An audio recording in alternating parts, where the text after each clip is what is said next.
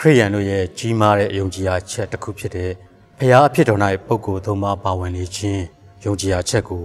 ဒီကနေ့ကျွန်တော်တို့အားလုံးပွဲတော်ဖြစ်ကျင်းပကြမှာဖြစ်ပါတယ်။ဒါကြောင့်ပုဂ္ဂိုလ်သုံးပါးရဲ့ကောင်းကြီးတော်တွေပါဝင်တဲ့ကျမ်းပိုင်းနဲ့အစာပြုခြင်းပါတယ်။ကောရိန္သုဩရာစာဒုတိယဆောင်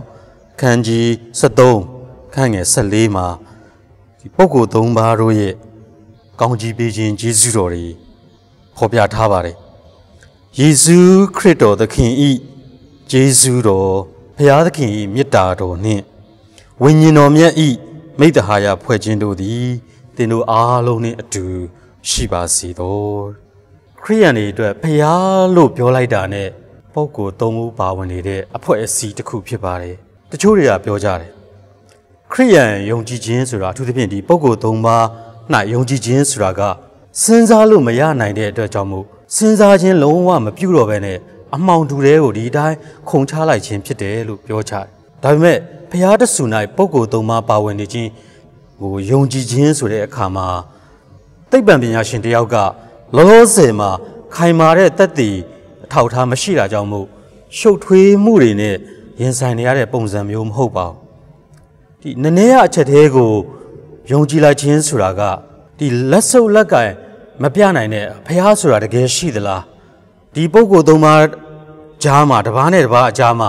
ချစ်ချင်းမေတ္တာဟာယိုစီးနေပြီးတော့အဲ့ဒီချစ်ချင်းမေတ္တာဟာလူသားထုတွေပေါ်မှာစီးဆင်းနေတယ်ဆိုတာကိုလက်ဆုပ်လက်ကင်ပြနိုင်ခြင်းမရှိဘူးဆိုတာဟုတ်သလား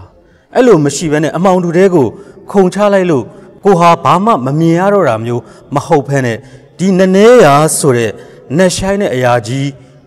တစ်ခုလုံးထဲမှာ ကိုမမြင်ရဖြစ်နေတာကို့အတွက်မတီမချာတွေဖြစ်နေတာကဘာကြောင့်လဲဆိုလို့ရှိရင်မှောင်နေလို့မဟုတ်ဘဲနဲ့အဲ့ဒီမှာက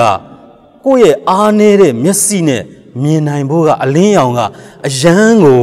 တောက်ပလွန်းနေတာကြောင့်မမြင်ရနိုင်တာဖြစ်တယ်။ပုဂ္ဂိုလ်၃ပါးဆိုတာကတဦးပေါ်မှာတဦးချစ်ချင်းမေတ္တာတွေရှိနေတဲ့ပုဂ္ဂိုလ်၃ဦးတို့ရဲ့ဘဝအကြောင်းချစ်ချင်းမေတ္တာအကြောင်းဖြစ်ပါတယ်။ divine love ဖခင်ရဲ့ချစ်ချင်းမေတ္တာအကြောင်းကိုမပြောနဲ့လူတူနဲ့ဒူးကြားမှာရှိနေတဲ့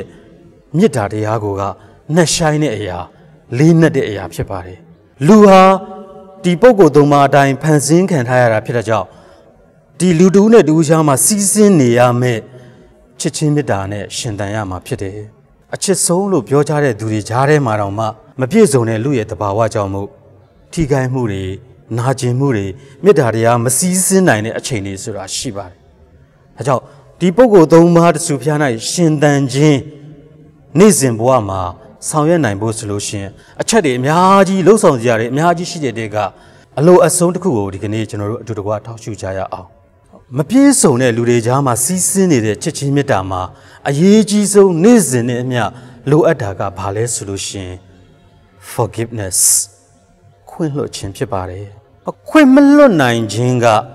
ကိုကအစိတ်ခွက်ကိုတောက်ပြီးတော့တစ်ဖက်လူသေသွားစေဖို့မျောလင့်နေခြင်းဖြစ်တယ်လို့ဆိုပါတယ်ကိုကဒါစိတ်ထဲမှာအခဲမကျင်နိုင်နေဖြစ်နေပေမဲ့တစ်ဖက်လူကအစားအသောက်မပြတ်အိမ်မပြတ်ဖြစ်နေတာမျိုးအဲ့တော့ခွင့်လွှတ်ခြင်းဆိုတာကဆုံးဖြတ်ချက်လားဟုတ်ပါတယ်ခွင့်လွှတ်ခြင်းကစိတ်ရဲ့ဆုံးဖြတ်ချက်ဖြစ်ပါတယ်လူရဲ့တဘာဝအရာတစ်ဖက်လူကထိခိုက်လာတဲ့အခါမှာပြန်ပြီးတော့တုံ့ပြန်လို့တဲ့စိတ် ပြန်ပြီးတော့ဂလဲစားချေလို့တဲ့စိတ်ကို no ငါအဲ့လိုမလုပ်ဘူးဆိုပြီးတော့စိတ်ဆန္ဒကရှိပေမဲ့အုံနောက်နဲ့ဆုံးဖြတ်ခြင်းကိုခွင့်လွှတ်ခြင်းလို့ခေါ်ပါတယ်ခွင့်လွှတ်ပေးဖို့မထိုက်တန်တဲ့သူတစုံတယောက်ရှိသလားမရှိပါဘူးဘာဖြစ်လို့လဲဆိုတော့ခွင့်လွှတ်ပေးခြင်းကခွင့်လွှတ်ပေးခံရတဲ့သူရဲ့အကျိုးအတွက်မဟုတ်ဘဲနဲ့ခွင့်လွှတ်ပေးလိုက်တဲ့သူရဲ့အကျိုးအတွက်ဖြစ်တာကြောင့်မို့ခွင့်လွှတ်ပေးဖို့မထိုက်တန်တဲ့သူဆိုတာတ ယောက်မှမရှိပါဘူးအဲ့တော့ကိုကခွင့်လွှတ်ပေးလိုက်တဲ့အခါမှာကိုထိခိုက်ခံရတာကိုဘာမှမဖြစ်ခဲ့တယ်လို့နေခြင်းမျိုးလားတစ်ဖက်လူကိုငမားချိတ်ကနေဖြုတ်ပေးပြီးတော့ဒီတိုင်းလွတ်ပေးလိုက်ခြင်းမျိုးလားတခါတလေကြတဲ့အဲ့ဒီလိုထင်ရပါတယ်ဥပမာတစ်ခုအနေနဲ့စဉ်းစားကြည့်အောင်လူတစ်ယောက်ကကျွန်တော်ရဲ့ကားကိုတန်ချောင်းနဲ့ချစ်သွားတယ်အစင်ကြောင့်အကြီးကြီးထင်သွားတယ်အယမ်းဒေါသထွက်တယ်တဘာဝအရာဆိုလို့ရှိရင်သူ့ရဲ့ကားကိုလည်းကိုကပြန်ပြီးတော့တန်ချောင်းနဲ့ပြန်ပြီးချစ်ချင်တယ်ဒါပေမဲ့ကိုကခွင့်လွတ်ပေးဖို့ဆုံးဖြတ်တဲ့အခါမှာ အဲ့လိုသူ့ကိုပြန်မလုပ်တော့ဘူးဒါပေမဲ့ကျွန်တော်ရဲ့ကားကို body design မှာဆေးပြန်မှုတ်ဖို့ရန်အတွက်လိုအပ်တဲ့ကုန်ချစိတ်ကိုတော့သူ့ရှိရနေတရားမျှတစွာနဲ့တောင်းခံရမှာဖြစ်ပါတယ်သူ့ကိုခွင့်လွတ်ပေးလိုက်တဲ့အတွက်ကြောင့်မို့သူ့ရှီကနေပြီးတော့မှသူခံထိုက်တဲ့တာဝန်ခံမှုဘာတစ်ခုမှမလိုအပ်တော့ဘူးလို့ဆိုလိုတာမဟုတ်ပါဘူးအဲ့တော့အဲ့ဒီလိုသူ့ကိုဂလဲစားပြန်မချေဖို့ဆုံးဖြတ်လိုက်တဲ့အတွက်ကြောင့်မို့အဲ့ဒီနေ့ညမှာကျွန်တော်ကောင်းကောင်းမွန်မွန်နေ့နေ့ချိုက်ချိုက်နဲ့အိပ်ပျော်နိုင်တယ်ဒါပေမဲ့နောက်တစ်ရက်မနေ့ ကားတောက်ဖွင့်တဲ့အခါမှာမနေ့ကအစင်ကြောင်းကိုပြန်မြင်တဲ့အခါမှာတခါဒေါသစိတ်ပြန်ပြီးတော့ဖြစ်လာတယ်အဲ့ဒီခါမှာသူ့ကိုနောက်တစ်ချိန်ပြန်ပြီးတော့ခွင့်လွှတ်ပေးရတယ်အဲ့ဒီကနေဘော်ဒီဇိုင်ကိုသွားတဲ့အခါမှာစိတ်မုတ်တဲ့ဆရာကကုန်ကြစိတ်ပြောတဲ့အခါမှာတခါဒေါသထွက်တယ်အဲ့ဒီခါမှာသူ့ကိုတစ်ချိန်ပြန်ပြီးတော့ခွင့်လွှတ်ပေးရတယ်ကားကိုဝက်ရှော့မှာထားထားခဲ့ရတဲ့ကြောင့်မို့သွားရလာရတာအစင်မပြေမှုတွေဖြစ်လာတဲ့အခါတိုင်းမှာသူ့ကိုပြန်ပြီးတော့ဒေါသထွက်လာတယ်အဲ့ဒီခါမှာသူ့ကိုပြန်ပြီးတော့တစ်ချိန်တခါ ခွင့်လွှတ်ပေးရပြန်တယ်နောက်ပြီးတော့ကိုကားပြန်ရတဲ့အခါမှာမူလ original ဆေးအယောင်နဲ့မှုတ်ထားတဲ့ဆေးနဲ့အယောင်ကွာနေတာကိုတွေ့တဲ့အခါမှာတခါဒေါသစိတ်ပြန်ဖြစ်လာတယ်